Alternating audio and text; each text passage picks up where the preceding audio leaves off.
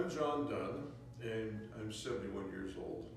Last December, uh, I had some x-rays taken of my knees uh, because they were bothering me, and I've had some hyaluronic acid injections on my left knee.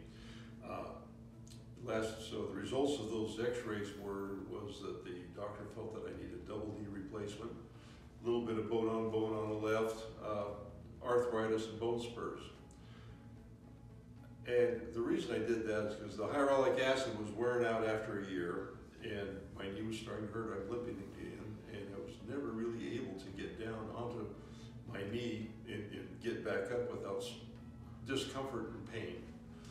Uh, since I've had these in, this injection, uh, I'm into what six weeks now, is uh, the first week it was about the same. After the first week, I I have no pain in my left knee when I walk. I can walk more normal. I'm not limping as nearly as much, and I can get down on my knee uh, a lot easier with the pain level from one to ten on my knee to get down to maybe one or two uh, to get down. And uh, it didn't take care of the arthritis. Arthritis is still there, but I can stand longer. Uh, before I could only stand for about a half hour before I really had to sit and rest my knees.